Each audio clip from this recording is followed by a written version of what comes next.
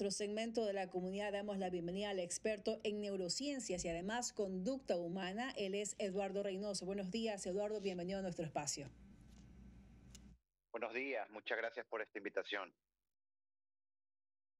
Eduardo, ¿a qué se debe este cambio de tendencia política en Guayaquil tras 31 años de predominio social cristiano? Eso a propósito de que prácticamente se daba pues por eh, ganador en este caso a la lista de la lista 6, Mayra Guerrero. Eh, una cosa importante es entender qué es lo que está pidiendo la gente. y, la gente de alguna forma eh, lo que quería era un cambio cuando tú haces una campaña y de alguna forma abanderas el cambio, entonces eso es inspirador para cierto grupo de personas que quizás no está totalmente conforme con una gestión. Pero adicionalmente, cuando la gente te pide cambio, son tiempos de cambio y estás en el poder, lo que tú tienes que hacer es cambiar el tono y madera, manera de, comunicarte.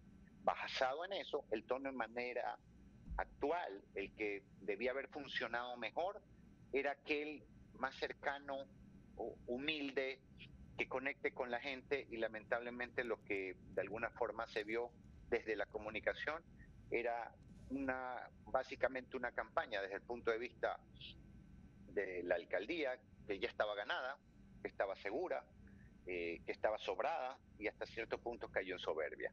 Y eso lamentablemente pasó una factura en una votación donde había muchos indecisos, es decir, eh, si bien es cierto, Cintia Viteri estaba ganando con una cantidad importante de puntos, era entre aquellas personas que ya habían decidido su voto.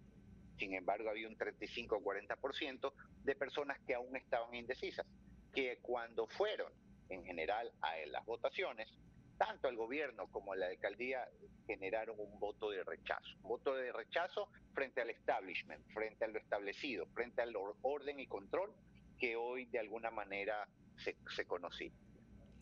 Es decir, un voto de rechazo o quizás un voto de enojo, porque también quienes ganaron, ganaron con un porcentaje no muy alto de, en este caso, de la actual alcaldesa de la ciudad de Guayaquil, un 39% versus un 30%. Significa entonces de que eh, el otro, la otra parte de los votos se derivó para los otros candidatos. Esto significa entonces que tampoco tienen una aceptación generalizada por parte de Guayaquil.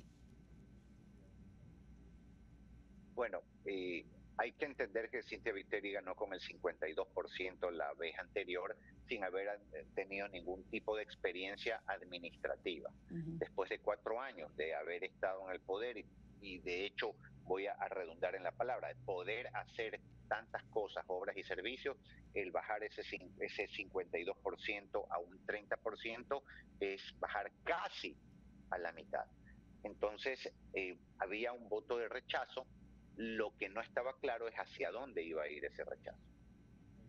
Hace pocos días, Eduardo, se hablaba de ejercer un voto responsable. Sin embargo, vemos como una revolución ciudadana, pues eh, prácticamente gana porque senta bases principalmente en las urnas. Y esto pese a que su máximo líder está condenado a ocho años de cárcel dentro de un caso por presuntos sobornos. ¿Qué pasa entonces con la ciudadanía? Bueno, yo creo que a la ciudadanía le tocó eh, unas elecciones donde tenía que elegir muchas cosas teniendo muy poca información. Por dos razones. La primera es que esta precampaña ha sido única a través del tiempo. Jamás ha habido menos tiempo en una precampaña que ahora, porque hubo un mundial atípico que normalmente se juega en junio julio, se jugó este, eh, prácticamente en, en diciembre. Y luego vinieron las navidades, el fin de año y todo lo que conlleva el tema de, las festividades, para luego entrar en una campaña donde la gente no estaba conectada, porque ya sabemos las razones, la gente no quiere saber de política, de, de políticos, campañas políticas, peor partidos políticos. Entonces, se suman todas estas cosas, más una elección donde había mucho por elegir, no era solo alcaldías y prefecturas, habían eh, consejos de participación ciudadana, eh, todo lo que sabemos que, que, conllevaba. Entonces no hubo mucha información. La, gente votó por un sentir. ¿Cómo puede ser posible que, por ejemplo, si usted le pregunta en la calle a la gente, usted quisiera que existan más asambleístas, la mayoría te dice que no. quisieras que los narcotraficantes estén fuera del país o estén dentro del país, estén fuera del país. Sin embargo, terminó ganando el no, diciéndole no a todas estas cosas que quizás hubiesen sido positivas para la sociedad. Entonces, te das cuenta por leve análisis que la gente no votó con razón, sino que votó con emoción, con el estómago.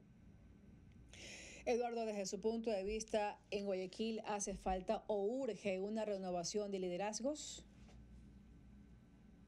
Totalmente, totalmente. Mire que los códigos siguen vigentes. Se necesita una persona fuerte, eh, con, un liderazgo, eh, que el centro no sea la persona. Yo creo que si vamos a hablar de una falla, una garrafal, eh, desde el punto de vista de, de lo que ocurrió con Cintia Viteris, que el centro de esta elección fue ella, su imagen, que dicho sea de paso, a algunos le gustaba, a otros no pero ya no fue el modelo. Todas las elecciones anteriores de absolutamente todos los 31 años ha sido siempre el modelo exitoso. Nunca ha sido el candidato per se. Que el candidato, claro, ejemplifica y de alguna forma tangibiliza el modelo. Pero hoy no se habló de eso. No se habló de las grandes obras. No se habló de lo que podía llegar a pasar en un futuro. No que más hubieron tácticas un poco populistas. Eh, y eso eh, generó un descontento en la base política que siempre ha puesto en el poder al Partido Social Cristiano. Eduardo, queremos agradecerle por habernos acompañado en esta mañana. Muchas gracias. Bien, este fue el diálogo junto al experto en neurociencias y además conducta humana, Eduardo Reynoso. Con esto hacemos una breve pausa. Cuando regresemos tendremos noticias internacionales.